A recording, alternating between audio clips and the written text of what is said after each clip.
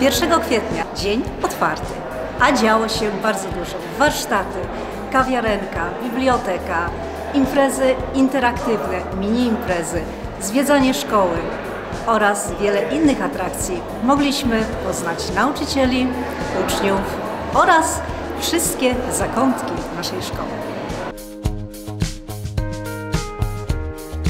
Przy wejściu czekali na przyszłych uczniów naszej szkoły starsi koledzy, którzy udzielali niezbędnych informacji i towarzyszyli w zwiedzaniu budynku.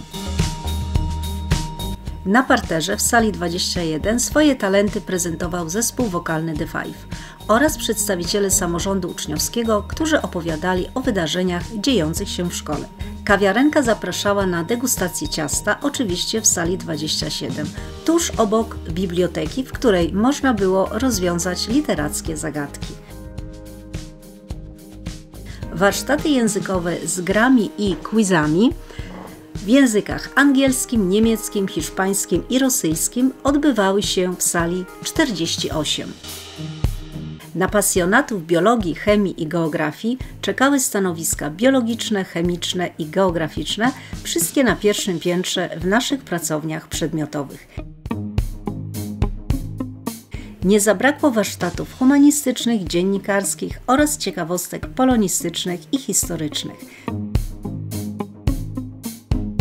Dla przyszłych adeptów sztuki zaplanowane były warsztaty plastyczne w sali numer 15 można było zobaczyć, jak wykorzystujemy drukarkę 3D, rozwiązujemy zagadki matematyczne i wykonujemy ciekawe doświadczenia fizyczne. Nasza szkoła słynie z sukcesów sportowych, dlatego na salach gimnastycznych można było wziąć udział w treningach piłki ręcznej i tenisa stołowego. Uczniowie piątki to niestrudzeni turyści. Zwiedzamy kraje Europy i najbliższą okolicę. Dlatego opiekunowie programu Erasmus Plus oraz Szkolnego Klubu Turystycznego gorąco zapraszali do odwiedzania stanowisk.